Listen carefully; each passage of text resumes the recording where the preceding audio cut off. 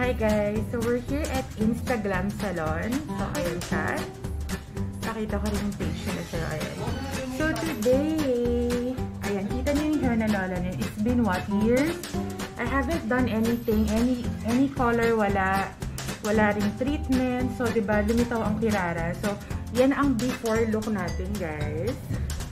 And later on, si Madam Owner, Madam CEO ng Instagram ang gagawa ng ating hair na look. Kapa-Barbie na tayo.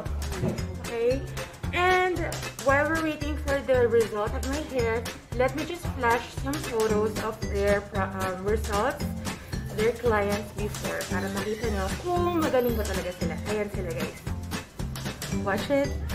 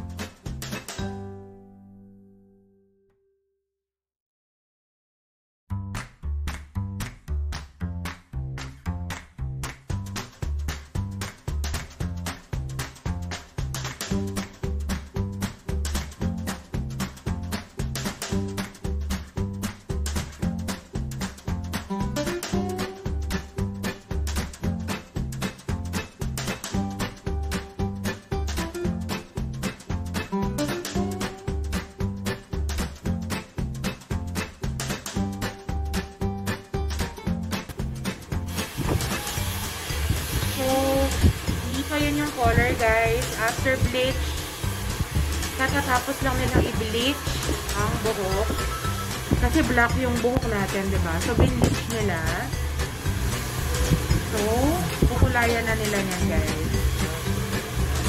And of course, napaka hands-on ng owner of Instagram, Sir Eric. The CEO of Instagram, you guys. So, wait nyo lang ang result.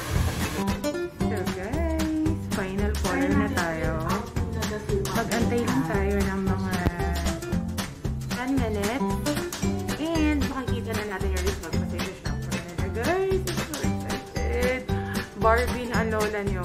For the first time in my life, ngayon lang tayo mag-super light talaga. Life is short, so guys, gawin nyo na ang gusto nyo. Wait for it. OMG guys. So, eto na. Ang finished product, ang pagiging Barbie na tupad na. Antayin nyo lang kasi isi-set pa namin to. Pero ayan siya, napakaganda. Oh my gosh. Sa mga natatakot mag-Barbie dyan, guys, dito kayo sa Instagram salon pumunta. And again, this is their Facebook page. Ayan, sa side na yan. Ayan, dyan. Okay?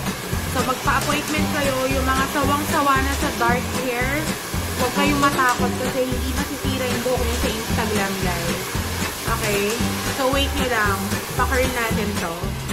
So, guys, iba-iba yung mga products nila na mga binabalikan kasi super effective. So, you're, if you're fixing your hair and all that, yung mga problem na ano sa hair, guys, may L'Oreal, iba-iba. So, this is for Instagram.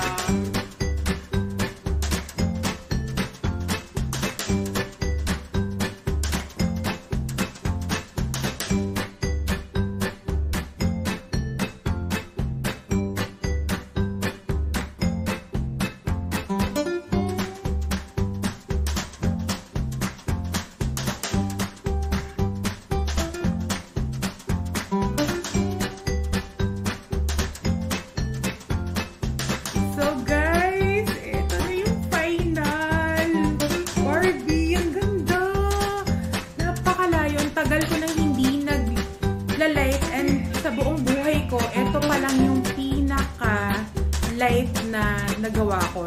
Blonde talaga, kita nyo. And that's why it's Instagram kasi Insta Beauty talaga, guys. So, again, the CEO and the owner and my good friend, Eric, say hi here. Thank you so much.